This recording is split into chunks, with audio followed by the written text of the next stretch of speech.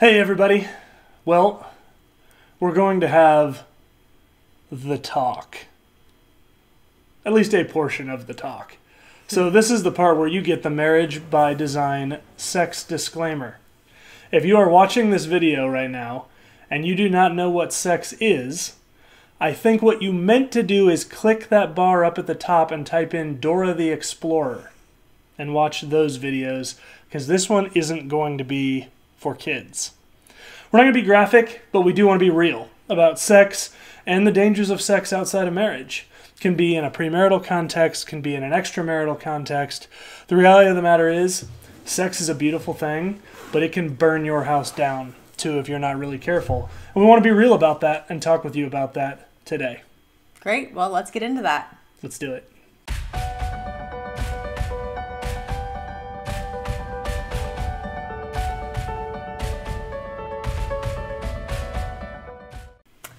Hi, I'm Andrea Warnock, I'm Nathan Warnock. and you are joining us for Marriage Monday on the Marriage by Design podcast, where we get to talk to you all about marriage God's way.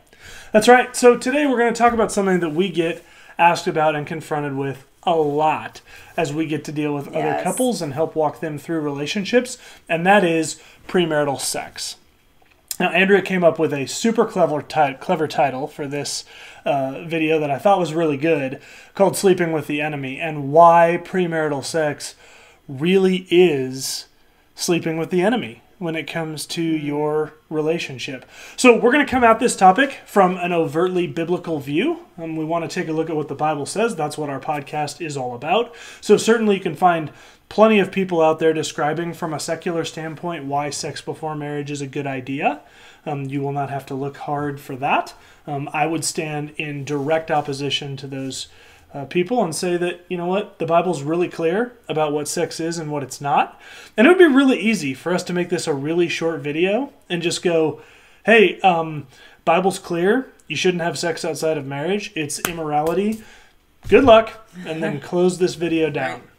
But I have found that over the course of the last 50 to 100 years, the American church has done a real disservice to young people specifically, but all people generally, on giving an understanding of why the Bible is so condemning of sexual immorality, including premarital sex.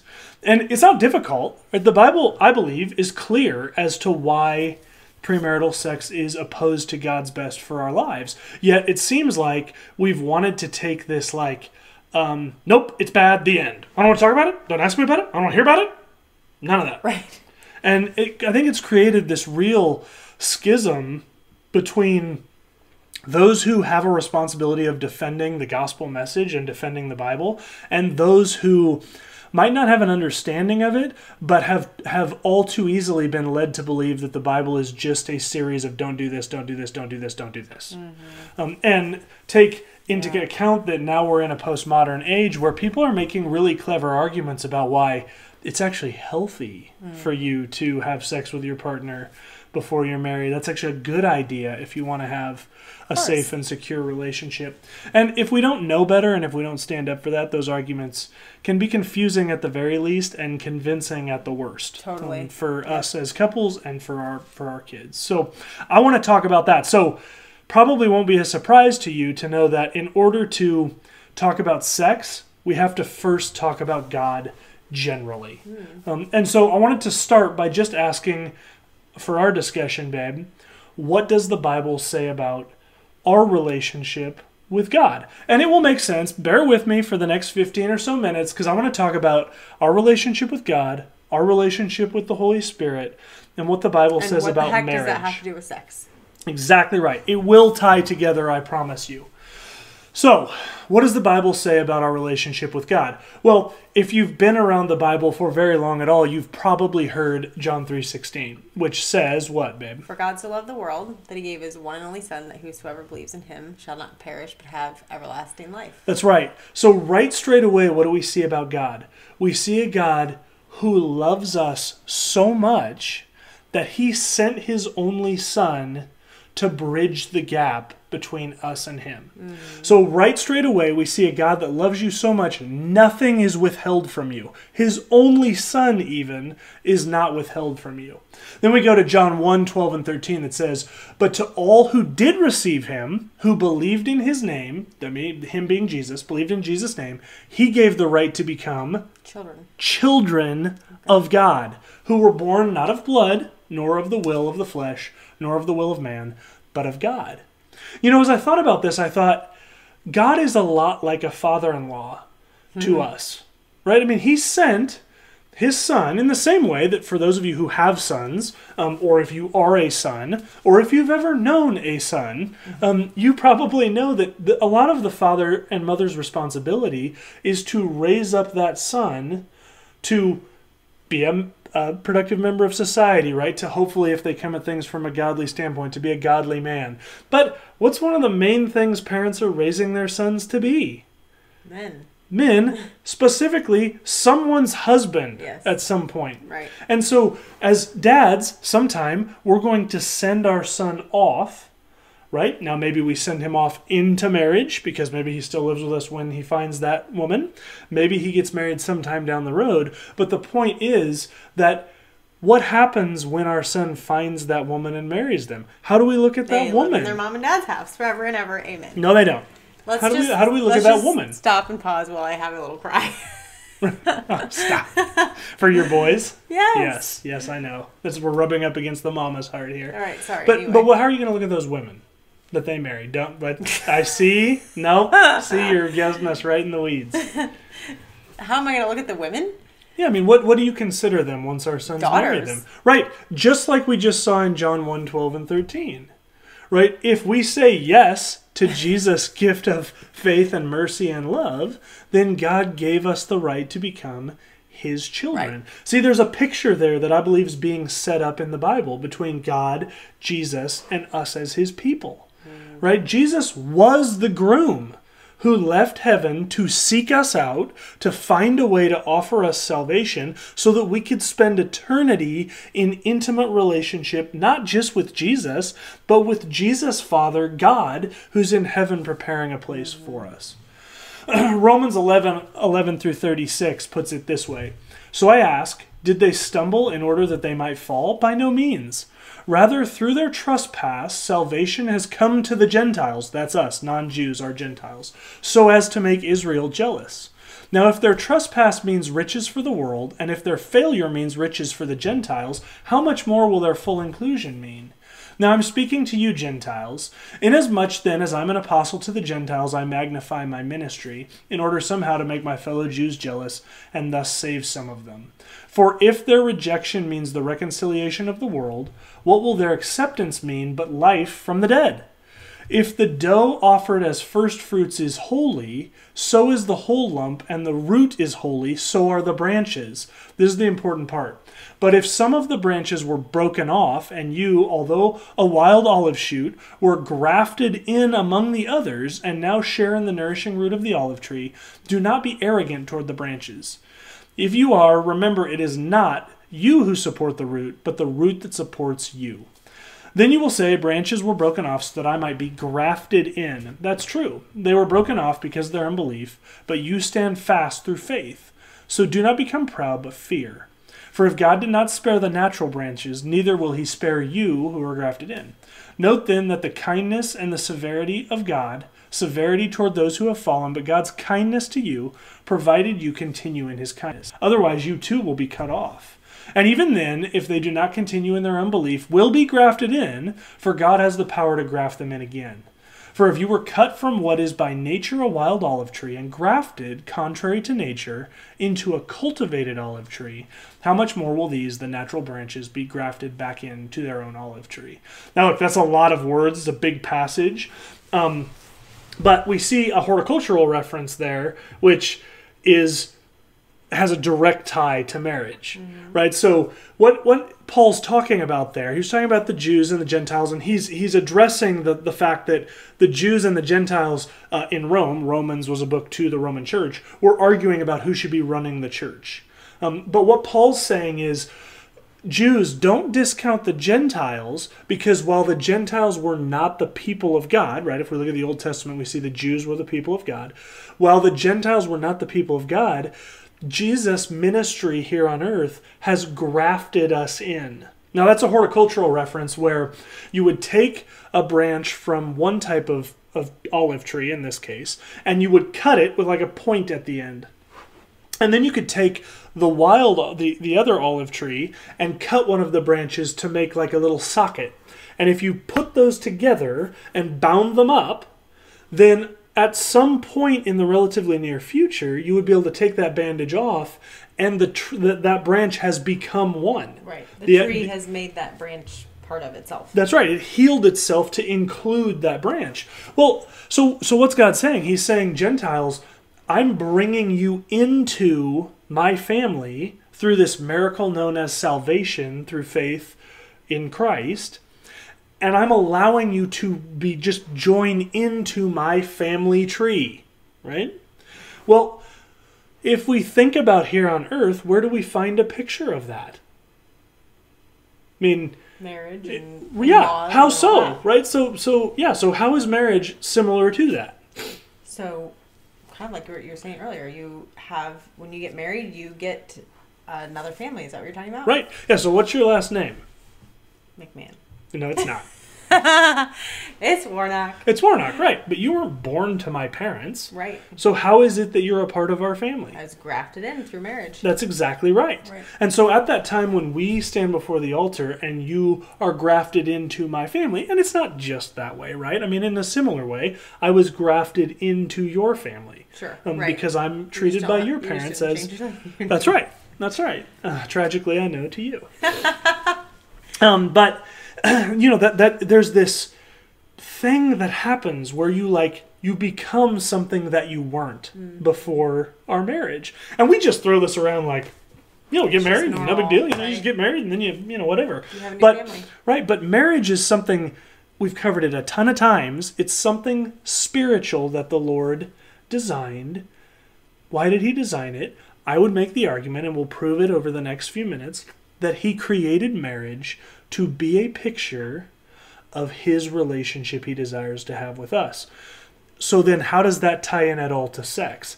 Because just as marriage is designed to be a picture of God's relationship with us, I believe sex is designed to be a picture of our relationship with the Holy Spirit mm-hmm. and the designed relationship and intimacy that we have both with the Holy Spirit and with Jesus through the power of the Holy Spirit. So, uh, Romans 10, 8 and 9 said, But what does it say? The word is near you, it is in your mouth and in your heart. That is the message concerning faith that we proclaim. If you declare with your mouth Jesus is Lord and believe in your heart that God raised him from the dead, you will be saved. The reason why I put that in there is because it requires, we see it right there, it requires a verbal affirmation to enter into the family of God. Right now, does that mean that if you don't say it out loud, you can't be saved? Well, no. I think that that- that's that is a, an extension of you know. I, I believe that if you are you know locked up as a prisoner of war in a cave and your tongue is cut out. And you have an understanding of who Christ is in that cave, you can come to saving faith in the Sure. Lord. Right? I don't believe in these specific, like mechanical things. But I do believe there is an, an affirmation that is required in order to enter the family of God. We see it right there. You confess with your mouth that Jesus is Lord. In the same way, it's been long-standing tradition forever that there is an affirmation required in order for us to enter into a marriage covenant together. Mm-hmm. Right? It's more than just hey, we both showed up here and we're holding hands, now we're married. Right? It takes a it takes an affirmation. Romans 12, 1 through 12, the last thing I want to say in this first portion. It says, I appeal to you, therefore, brothers, by the mercies of God, to present your bodies as living sacrifices, holy and acceptable to God, which is your spiritual worship. Do not be conformed to this world, but be transformed by the renewal of your mind, that by testing you may discern what is the will of God, what is good and acceptable and perfect. You know, the thing I was talking with another um, kind of marriage champion earlier today, and we were talking about this verse briefly because he was making the point, he's right, we think that the natural state of humans is that we will get better over time. Right? That's actually the whole idea that evolution is based on mm-hmm. is that over time we will adapt and become better. Sure. That stands in direct contrast to the Bible and specifically to this verse. You have two choices. You can either be conformed to the ways of this world or be transformed by the renewing of your mind before God. You can't have both. And the clear implication is if you are being conformed to the world, you're caught in this entropy cycle that leads to ultimately what's God's or what's Satan's plan for you Death. death, right? Death and destruction. death, right. That's right.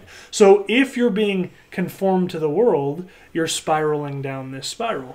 But being transformed by the renewal of your mind brings us closer and closer to the Lord. As we know, it's the Holy Spirit that is doing that transformation. Well, it's the same thing with us in marriage, right? If we just sit and hang out, pretty soon you know what he what he made the point earlier today when I was talking to this this other champion for marriage is he was saying, you know, the real problem is then pretty quick you look around and you what you have is a roommate, Right. and he's right. Um, that's that's the problem. Yeah, Is- things don't tend towards order or greatness. That's That- right. You have to work towards that. That's right. Science has actually confirmed that, right? What you just said is a scientific fact. Things tend toward disorder, not towards order. Right. It's the same way. This is a biblical principle. I just read it. It's the same way in our marriage. Our marriage tends towards dysfunction, not towards higher function.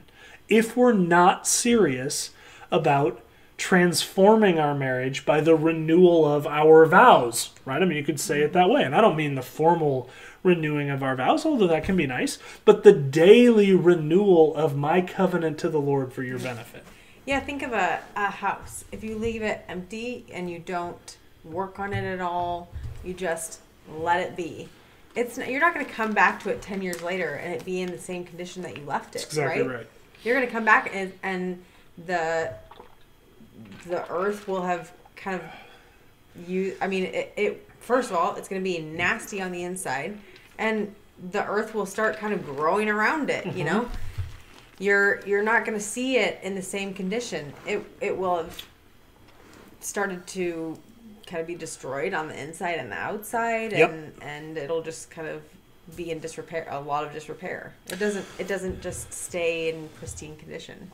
That's right. But and that is the way it is with our our own marriages and our own relationships with the Lord. If we just kind of walk away from them and let them be and not really work on them, they they will fall into disrepair. That's right. That's right. So, those are my initial proofs for showing you that God's does our relationship with God is a picture of God's design for marriage. Mm-hmm. now you might be going, "Okay, that's great. You just spent 16 minutes telling me about marriage. What does that have to do with sex?" Great question. Let's talk about that. The next thing I want to talk about is what the Bible says about our relationship with the Holy Spirit.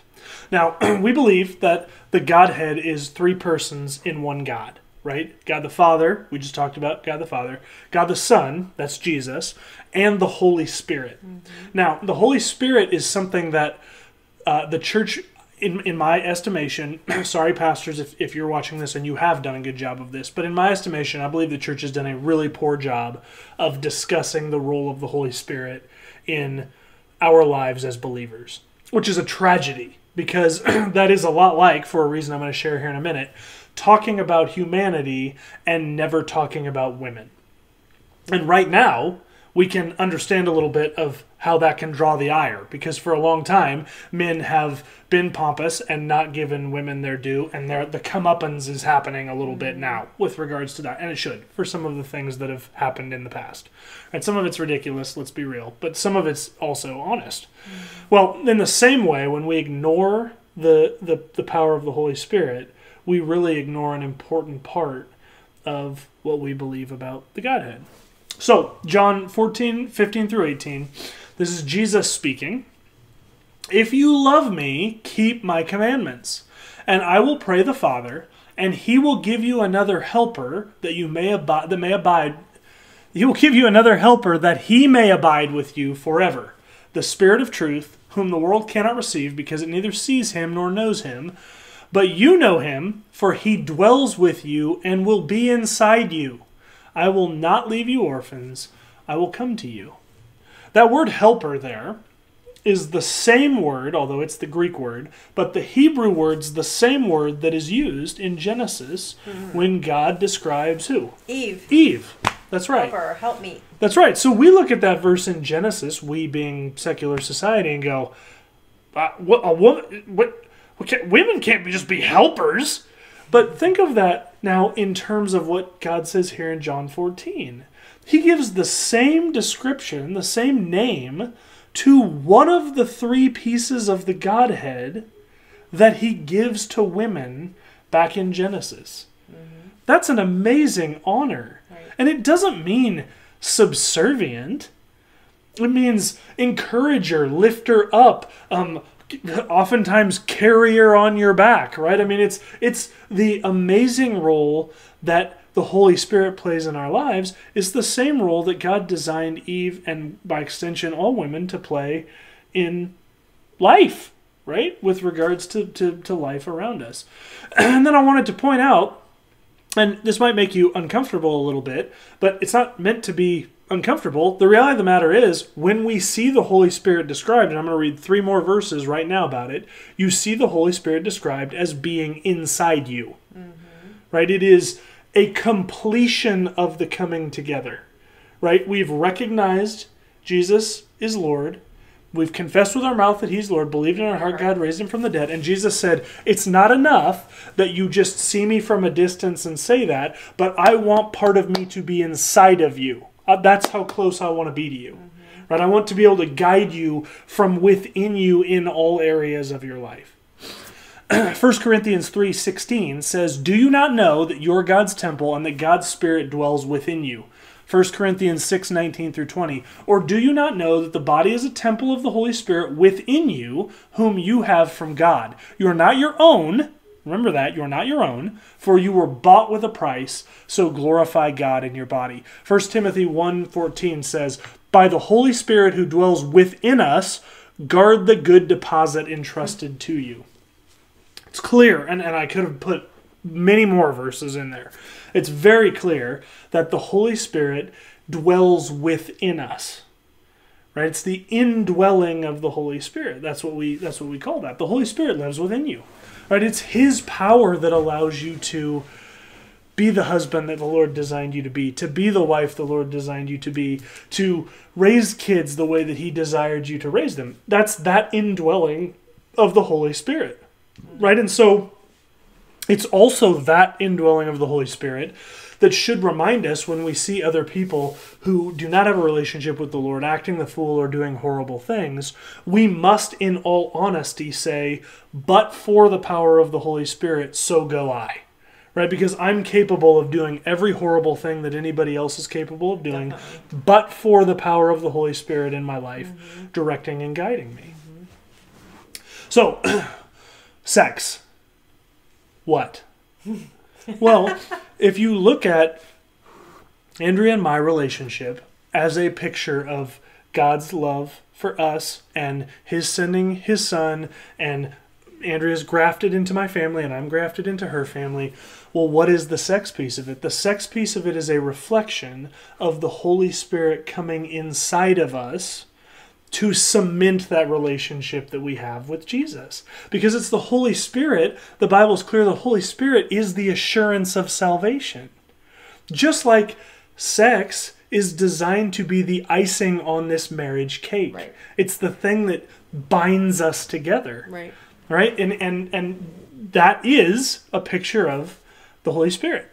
So I believe that sex is designed by God to be that picture. Now, look, there are practical things. We're going to talk about them here in a second as to why sex is great. And if you've listened to our um, podcast for very long, you know I'm a big fan um, of sex. And uh, Andrea will give me a hard time about it quite often on this podcast. But I'm a huge fan of sex. And, and I'm a big proponent of it. Not just because it feels good, although it does, but because I believe it's a critical part of a healthy marriage.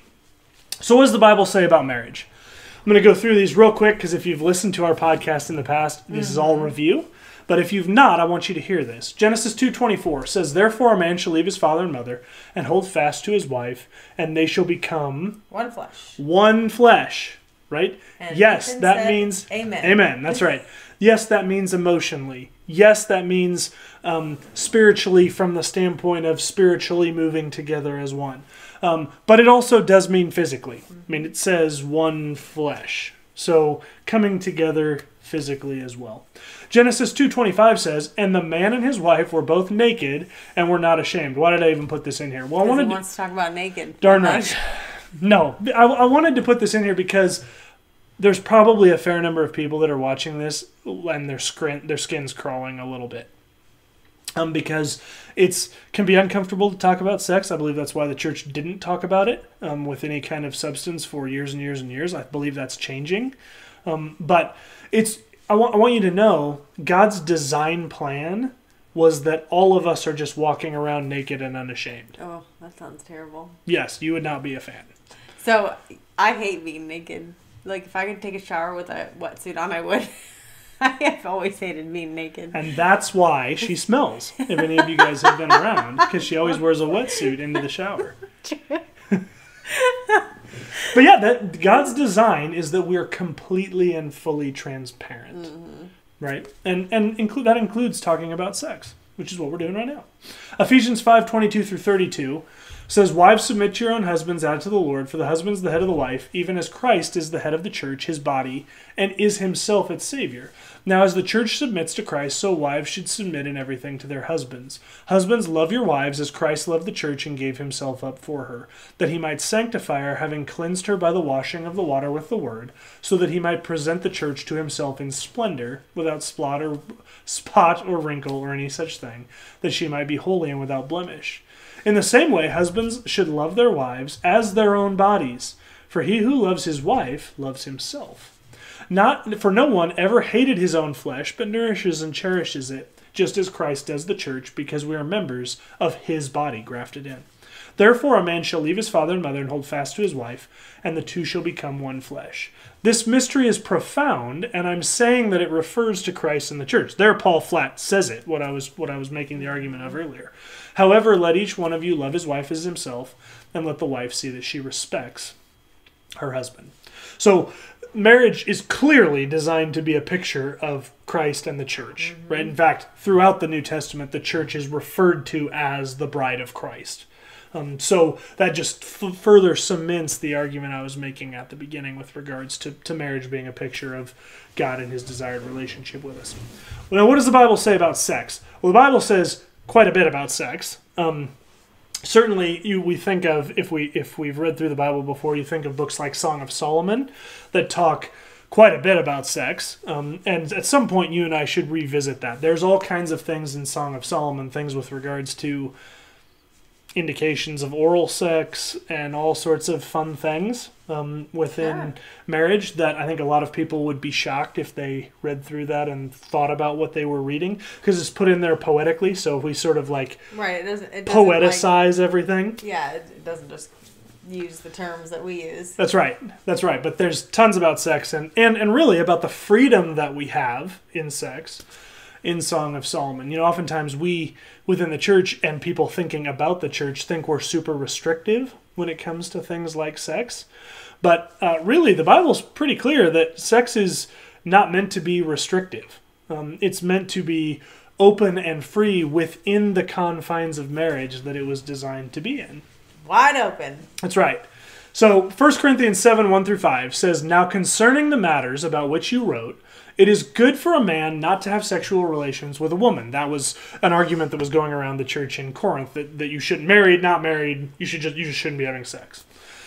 But because of the temptation to sexual immorality, that word is porneia, we'll talk about that here in a second. Each man should have his own wife, and each woman her own husband. The husband should give to his wife her conjugal rights. That's sex. And likewise the wife to her husband. For the wife does not have authority over her own body, but the husband does. Likewise, the husband does not have authority over his own body, but the wife does. Do not deprive one another of sex, except perhaps by agreement for a limited time, so that you may des- devote yourselves to prayer, but then come together again. That's sex. so that Satan may not tempt you because of your lack of self control. So, what is this saying? Well, a couple things I wanted to point out. I wanted to point out that verse there because we need to think about what this means in marriage. For the wife does not have authority over her own body, but the husband does. Yeah. Likewise, the husband does not have authority over his wife own body, but the wife does. Now, I want to go back, if I can find it here quickly, to something I read about the Holy Spirit. Where is it? Here we go. 1 Corinthians 6 19 through 20. Or do you not know that your body is a temple of the Holy Spirit within you, whom you have from God? What's the next part say? You are not your own. You are not your own, For you were bought for with a you were price. bought with a price. so glorify God in your body. It's that same principle. Right? The Holy Spirit, who is given to us by the Lord, He comes and indwells, lives within us. And what does that mean? My body is no longer mine, it's the temple of the Holy Spirit. So as the Holy Spirit leads, so I go. When I enter into marriage, my body no longer becomes only my body, it becomes Andrea's body, right? And I'm not to withhold that from her wrongfully because it's not mine. I've given it over sacrificially to her. And in the same way, Andrea to me. This is a very difficult concept for a lot of modern couples to wrap their head around. Right? And and I would even go even further to say a lot for a lot of modern women to wrap their head around. Sure. Yeah, I mean, very difficult because you really shouldn't have a say over your own sex life, right? As far as really, it should be if your husband wants it, you should be giving it. Right. But I also want to say there should be boundaries within that.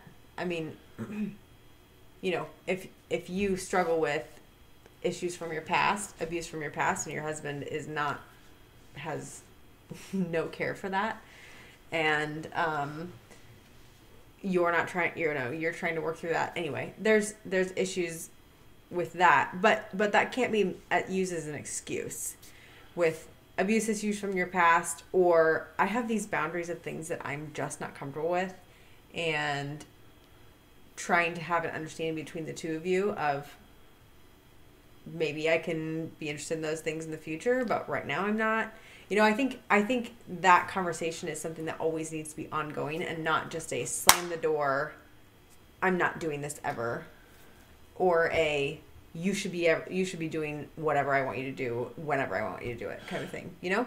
So I want to just have an aside and I know you don't really like probably the way I'm saying it, but but I just want to have an aside where if your husband's body is your own or you, you you get to have authority over your husband's body and vice versa you also have to have an understanding that you should be um you should be loving your husband or loving your wife in the same it, more than you love your own self Yeah. and That's so true. and regarding uh, them as higher than yourself Right, and and those those sensitive things that you're talking about, and absolutely, your spouse should be sensitive to those things. But when's really the time when you should probably be having that conversation? before you're having sex I would argue before before, you're you're, getting married, oh of course yeah because because if his thing is like, man, it's really important to me that we have sex eight six times a week, and you go, yeah, but I have issues in my past. I really want to have sex once a month. You need to have that conversation up front because I would still say that once you're married, you're committed, and your body's not yours anymore. Issues from the past or not. Um, now you shouldn't be marrying someone who's a douchebag when it comes to respecting your body Right. and issues from the past. But when you marry somebody, you also have to understand that your body is no longer your own. That's the point. and so there's there ha- there is a so for Nathan and me, I have sexual abuse in my in my past. So for us, there have definitely been times where you know we're maybe in the middle of having sex and I'm like I can't do this, and he's not. He his answer is not sorry. This is what I want right now. He does. You have to. Blah, blah, you blah, need blah. to finish this. You know yeah, right. That's Um, right. he he's very caring and understanding and my heart is i want this part of my marriage and i want this to be a a good part of my marriage, and so I'm not going to just shut the door on this and say never again, no more, or whatever. Right. You know? So maybe in the moment it's something that that ends and gets shut for the time, but then there's a conversation that follows, and Yeah. we're working on that and praying about it and all that sort of thing. So That's right. Yeah, that's right. Totally. So anyway, sorry. no, that's great. there. Yeah, that's really that's a good aside. In fact, there probably could be an entire episode just on that Yes. one aside. so I, I mentioned that we were going to talk about that word porneia, which says in there at the beginning of 1 Corinthians 7 1 through 5. Now, concerning the matters about which you wrote, it is good for a man not to have sexual relations with a woman. That's what they wrote to Paul. And Paul's saying hogwash within the confines of marriage. But that word is porneia. It's a word that appears 24 times in 25, oh, sorry, 25 times in 24 verses in the New Testament. Starting first in Matthew 19, Jesus brings it up when Jesus is discussing divorce. And what he says is uh, anyone who, ma- who divorces uh, uh, uh, their spouse for any reason other than for sexual immorality, porneia. And so, what does that word porneia mean? Well, when we look biblically, we see it has a varied meaning. It means everything from homosexuality to bestiality to incest to lust um, to uh, you know broad catch-all of any sex that is not um, Within marriage. within conf- within the but not just within marriage within the confines of what God has designed sex to be because we can have porneia within our marriage. I mean, for one thing, the word porneia is from where we get the word Porn. porn, pornography. Right. Pornography within your marriage is porneia. It is sexually immoral and it is a Well, sin. yeah, I would say that's not within your marriage, but Right, but I mean, but I, but there's plenty of people that go, well, I, my wife and I watch pornography together, and it's the two of us together, so who cares? Well, God cares. It's wrong, Right. um, because you're really, as Andrea said, allowing another man and or woman into your bedroom, um, and that's wrong. Right. Same way, allowing actually other men or women into the bedroom of your marriage is wrong. Um, so certainly you can have sexual immorality within marriage, um, but sexual immorality is a broad category there that that combines a whole bunch of things. Um, so I just I wanted to point that out because we see that verse in the Bible in the New Testament, and it is the opposite of what we would say sex is designed to be. So what is sex designed to be? Sex is designed biblically to be between one man and one woman who are married to each other within the confines of their marriage. Um, that's what it's designed to be. Now, I want to talk about because certainly there are all kinds of people that would say, well, you know, we're getting married next week, or I'm sure this is the one I'm going to marry, or you got to try the car before you dr- drive it, or um, you got to dri- dri- you got to drive the car before you buy it. That's the one. Um, you know, whatever, whatever, whatever excuse there is. And I want to use an analogy here, because the other thing I hear from a lot of people is, well, we had sex before we got married, and our marriage has been fine. That's not a reason for doing it. And here's the analogy I want to give. Five out of six people who play Russian roulette say they turned out fine. Right? The sixth person blows their brains onto the black onto the back wall. Right? I mean that's how Russian roulette works. So the fact that you would say I don't have consequences from that is not a reason for saying therefore it's a good thing. Um, and if we're serious, if you're watching this and you're in a dating or an engaged relationship, are do you not love the person you're with enough to say I will do whatever I can to make sure that my my future wife or my future husband and I are not the sixth person pulling the trigger in Russian roulette. Right? I mean, would any of us not say that's a dangerous enough thing that I'm willing to just forego playing Russian roulette at all Right. for the sake of me and the person that I claim to love more than anyone else not being the one that blows our relationship all over the back wall. Right. Yikes. So, what I want to talk about as we talk about sex is I want to talk about sex in marriage and what it's designed to do versus sex before or outside of marriage and how those two things are compared to each other. So, what are some purposes of sex that we see in the Bible? Well, uh, it binds a relationship together, right? Just as the Holy Spirit within uh, within us binds us to Jesus and guides us, sex within marriage binds us together. I don't know if you've noticed this in your own marriage, but oftentimes when Andrea and I are the least likely to get into an argument about something, it's in the minutes and hours after we have sex. It ju- I, I don't know what it is. There's something about sex that just draws us together. That's true, and usually we can have deeper, a lot deeper conversation too after sex. You know, That's right. we're just more willing to have deeper conversation. Totally. That's right. That's right. So, how does this compare to sex before or outside of marriage? Well, uh, sex, I believe, is a spiritual act for the reasons we talked about with regards to what it represents, and it binds people together. When you might say, well, th- that's a positive thing. I'm, I love this person I'm with. That's great. Guys, there are so many people out there whose hearts are bound to someone not their spouse because they had sex with that someone years ago and bound their heart together with them and cannot And get past it. Let me it. tell you, we know a lot of those people. Yep. Just because we do a, a lot of marriage ministry and we're blessed to do that. And unfortunately, we know a lot of those people. That's right. Decided to have sex outside of marriage and their hearts, and a lot of those are, we thought we were going to get married. Yep. Or something like that. And some of them aren't for sure. But, but it's a tragedy when their hearts are still bound to other people that are not their spouse. That's right. And it will just wreak havoc in your Oh, relationship because awful. no matter how much you want to be with your spouse, that tie that you have to this other person, it's it's really hard to break that. And oftentimes take this takes the miraculous work of the Lord in order to break that that we call it a soul tie, that tie that you have to another person. And that's complicated even more by these all these people that you had sex with before you were married and now you've got ties to these people over here and those people over there and now you're trying to reach out to your spouse to be close and intimate with them but there's all these ties holding you back and it is tragic within a marriage Yep. Number two, uh, it relieves stress. I mean, that seems like a pretty straightforward thing about sex. Um, it does relieve stress. I mean, it's it, it is a stress reliever. Lots of people. I mean, this is a pretty common thing about sex. So within marriage, that's great because uh, also if you have a lot of sex, you will potentially have a lot of s- stressors running around your house, like maybe four of them that are between the ages of ten and one. Uh, and so stress relieve relieving stress is you know something Which you should do five or six times a day. It also creates more stressors. Excuse me.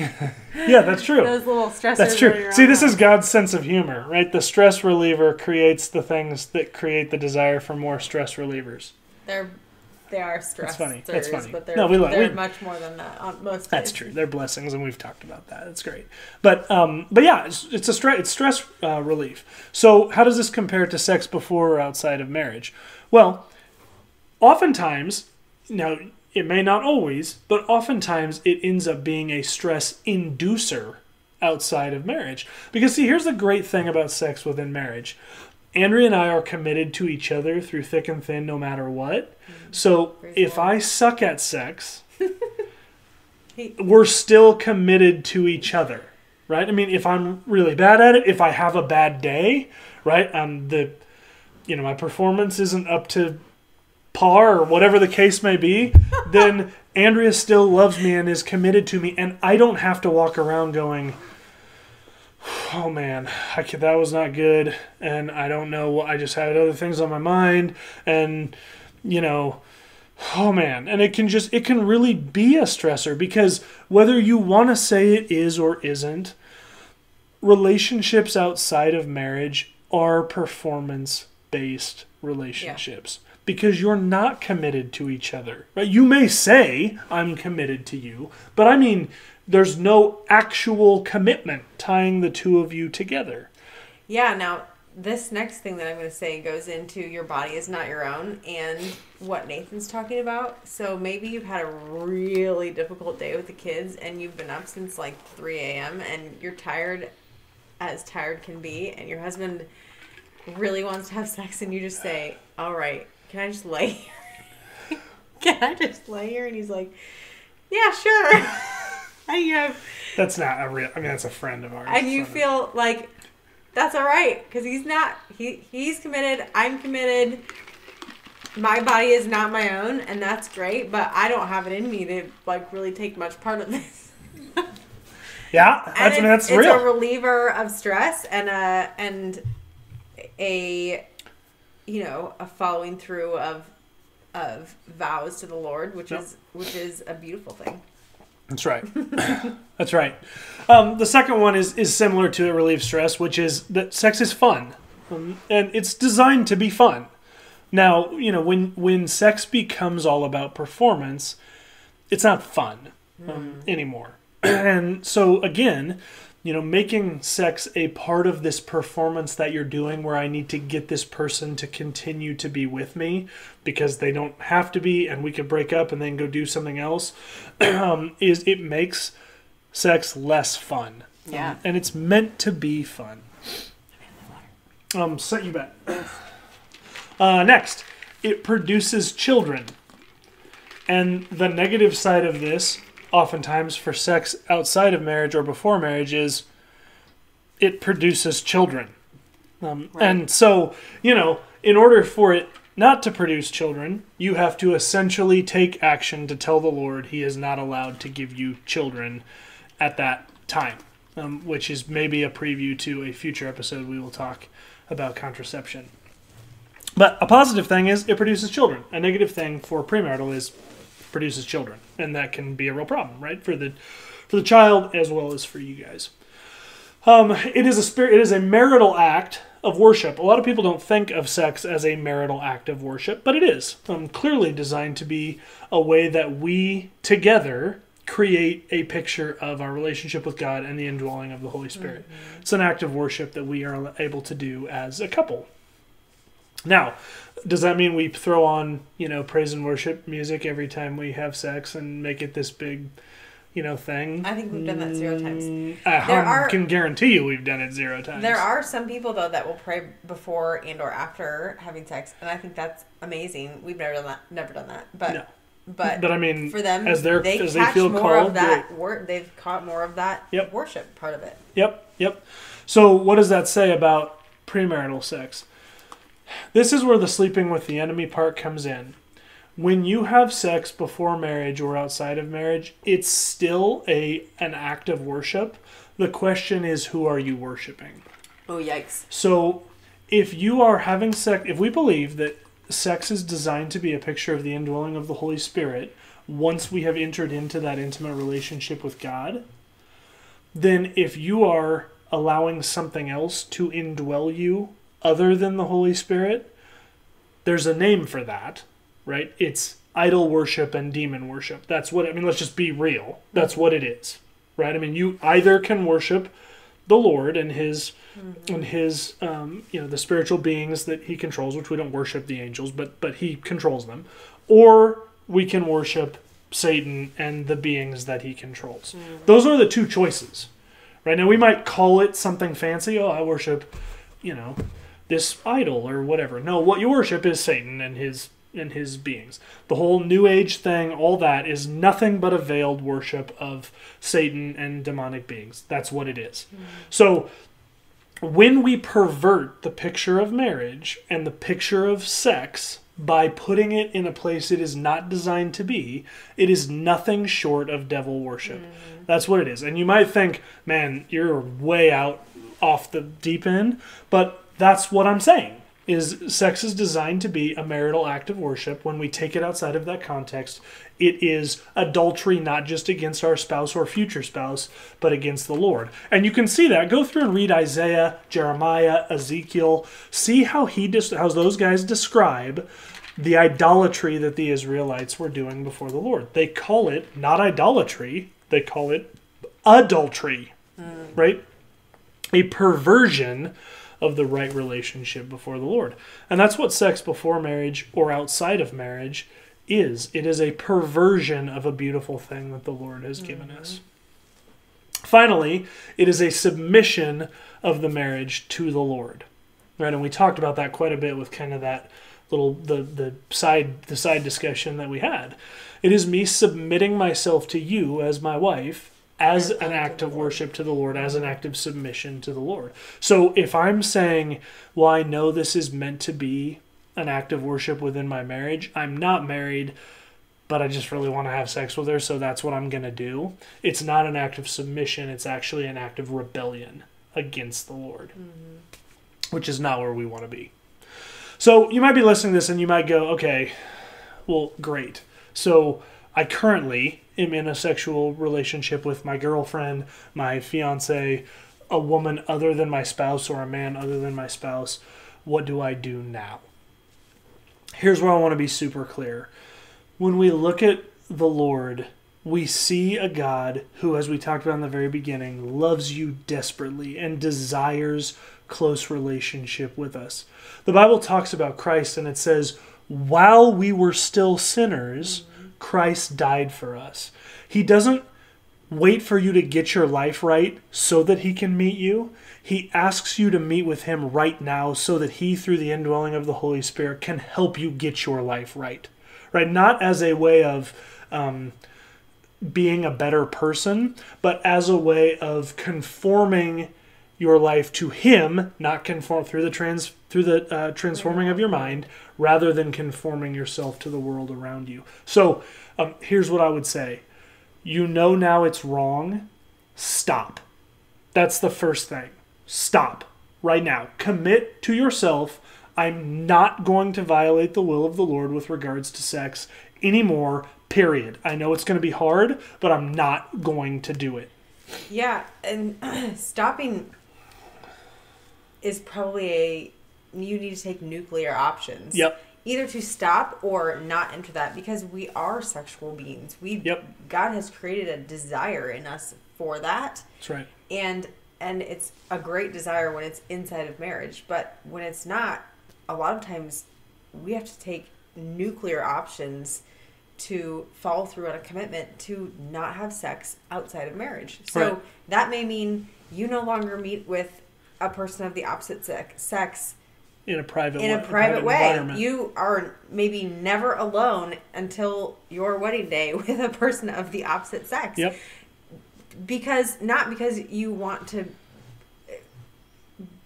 you know be treated like a child or feel like a child but because you want to honor the lord and honor your spouse and and the gift that you can give them yep in your marriage with with your body and so so probably the best course of action is to never be alone with somebody of the opposite sex ever until you're married Right. and that sounds dumb but would you rather sound dumb or would you rather be honoring Yeah, good good call, babe.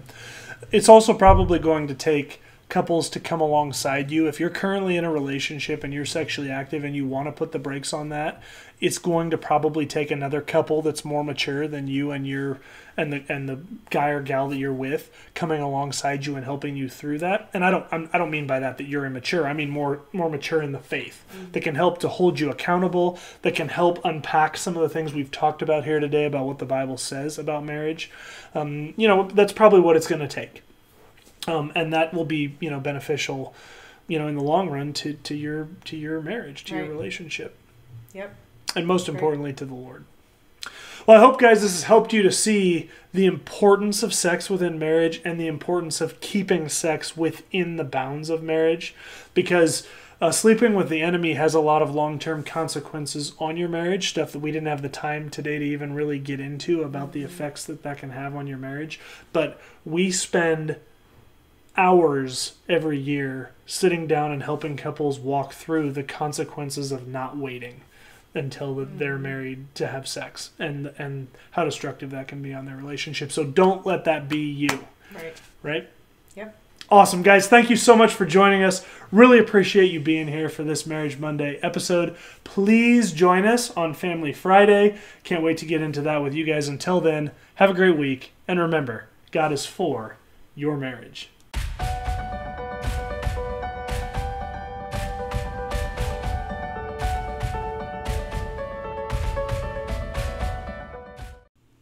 Hey, thanks for joining us on Marriage by Design. If you were impacted by this video, like it by hitting the thumbs up below.